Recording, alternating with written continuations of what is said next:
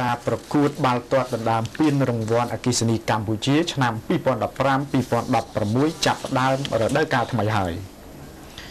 នាព្រឹកថ្ងៃអាទិត្យទី22ខែវិច្ឆិកាឆ្នាំ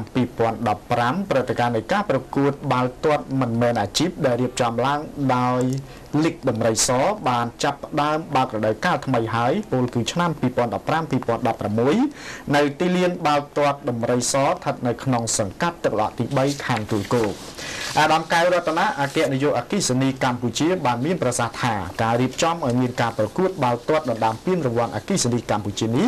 បានរៀបចំឡើងក្នុងគោលបំណងផ្សព្វផ្សាយអំពីអត្ថប្រយោជន៍នៃកីឡាចំពោះសុខភាពការអប់រំអំពីយុវជនឲ្យស្រឡាញ់ការលេងកីឡានិងការរឹតចំណងមិត្តភាពសាមគ្គីភាពក្នុងស្មារតីការងារជាក្រុមអាដាមបានបញ្ជាក់ទៀតថាការរៀបចំកម្មវិធីប្រកួតបាល់ទាត់ដណ្ដើមពានរង្វាន់អគ្គិសនីកម្ពុជានេះគឺជាលើកដំបូងហើយក្រោមគំនិតផ្ដួចផ្ដើមរបស់បងប្អូនបុគ្គលិកអគ្គិសនីកម្ពុជាជាមួយនឹងស្ថាប័នមួយចំនួនទៀតដែលចូលរួមក្នុងការប្រកួត។ គួរបញ្ជាក់ថាការប្រកួតបានធ្វើឡើងរយៈពេល2ខែកន្លះជាលក្ខណៈវិលជុំដោយមានក្រុមបាល់ទាត់មកពីស្ថាប័នផ្សេងផ្សេងចំនួន10ដែលនឹងត្រូវមកប្រកួតគ្នាដើម្បីដណ្ដើមយកពានរង្វាន់អគ្គិសនីកម្ពុជានាពេលខាងមុខ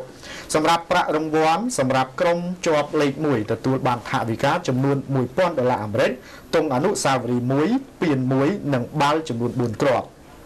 ក្រុមចំណាត់ថ្នាក់លេខ2ទទួលបានថវិកាចំនួន700ដុល្លារអាមេរិកទង់អនុស្សាវរីយ៍1បាល់ចំនួន3គ្រាប់ក្រុមជាប់ចំណាត់ថ្នាក់លេខ3ទទួលបានថវិកាចំនួន500ដុល្លារអាមេរិកទង់អនុស្សាវរីយ៍1បាល់ទាត់ចំនួន2គ្រាប់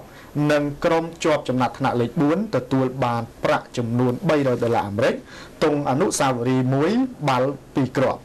ហើយចំពោះកីឡាករដែលអាចរកគ្រាប់បាល់បានច្រើនជាងគេនឹងទទួលបានថវិកាចំនួន100ដុល្លារអាមេរិកមេដាយមួយគ្រឿងនិងស្បែកជើងមួយគូ